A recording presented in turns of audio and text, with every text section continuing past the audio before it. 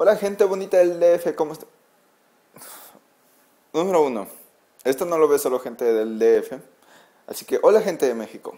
Dos, los del DF no son bonitos.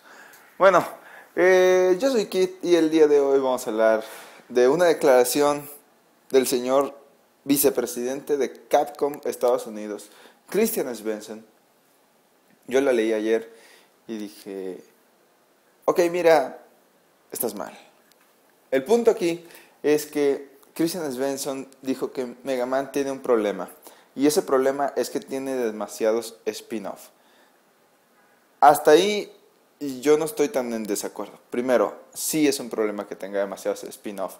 ¿Cuál es el Mega Man de verdad? Para empezar, está Mega Man y Mega Man X, ¿sí? que es, digamos, lo canónico dentro de la historia de Mega Man. Pero también hay un buen de Mega Man más. Está Mega Man Legends, está Mega Man Battle Network, que es otro tipo de Mega Man.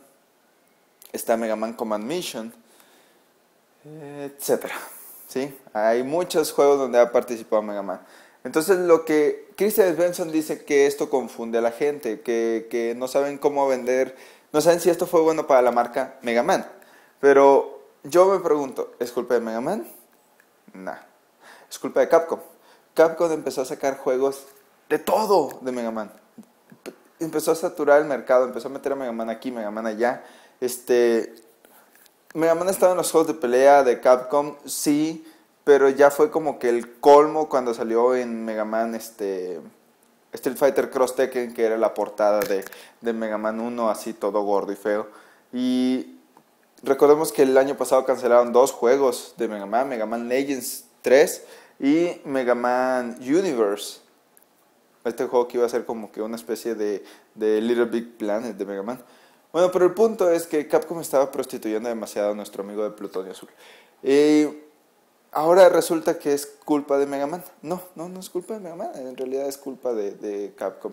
Yo a mí me gustaría ver Mega Man, pero efectivamente, Mega Man canónico de ese... Ah, me faltó Mega Man Zero también, que es un spin-off. Eh, me gustaría ver muchísimo más de, de, la saga real de Mega Man. Sacaron Mega Man 9 y Mega Man 10 en, eh, como que en un ambiente retro para la descargable para diferentes consolas. Está bien, está bien, o sea, como chiste estuvo bien porque hasta mal hicieron las portadas y todo. Pero el juego era bueno también, es cierto. Pero queremos algo serio, queremos que, que Mega Man vuelva de manera normal, de manera seria, que le dediquen su tiempo a desarrollar un juego decente de, de este sujeto. Bueno, banda, yo los dejo, no sé qué opinan ustedes de, de, esta declaración de Christian Svensson, si creen que ya son demasiados Mega Man, si creen que debería de continuar con más spin-off, ustedes decidan, ¿no? Lo leo aquí en los comentarios. Muchas gracias y nos vemos el día lunes con más noticias de videojuegos. Yo soy Kit, gracias por suscribirse en este canal y por seguirme en Twitter. Buenas noches, nos vemos. Bye.